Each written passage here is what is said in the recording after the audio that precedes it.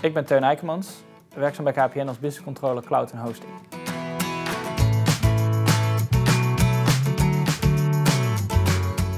Ik wist op de middelbare school al dat ik iets met economie wilde gaan studeren. En met name het bedrijfskundige aspect sprak me wel aan. Uh, en ik heb me georiënteerd op Nijmegen, Erasmus Universiteit en Tilburg. Uh, en uiteindelijk voor Tilburg gekozen vanwege de kleinschalige campus en uh, het goed aangeschreven onderwijs op researchgebied.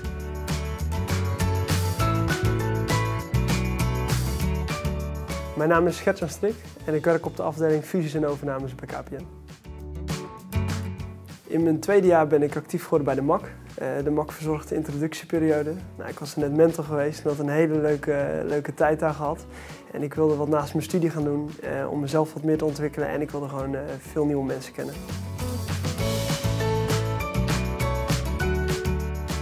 Het sociale aspect heeft hier absoluut een rol in gespeeld. Uh, ik ben actief geworden bij MAC en veel van deze mensen zijn nu nog mijn vrienden. Ik ben tijdens mijn studententijd vaak met ze op wintersport geweest, samen biertje drinken, samen sporten, samen eten gewoon. Uh, dus absoluut.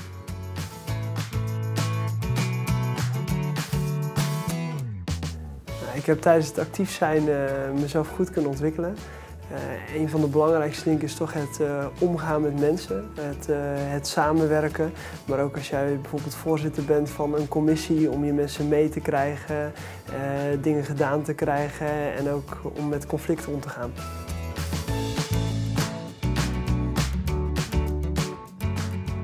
ik ben een Master Finance gaan studeren. Ik ben uiteindelijk penningmeester bij MAC geworden. dus dat sloot mooi aan op mijn studie. En uh, de reden dat ik echt een bestuursjaar ben gaan doen is omdat ik al eerder aangaf dat ik wat later actief ben geworden. Maar wel het gevoel dat ik daar echt alles uit wilde halen en daarom echt een fulltime jaar daaraan wilde besteden. Ik zou studenten van nu uh, willen adviseren om uh, voor zichzelf actief te worden, voor jezelf employing. Niet omdat je toekomstige werkgever vraagt of dat jij in het buitenland bent geweest of een bestuur hebt gedaan, omdat jij zelf vaardigheden gaat ontwikkelen die buiten de academische straat liggen. Ik zal dus uh, de nieuwe student willen meegeven, word actief. Maar denk ook na wat voor jou het beste past.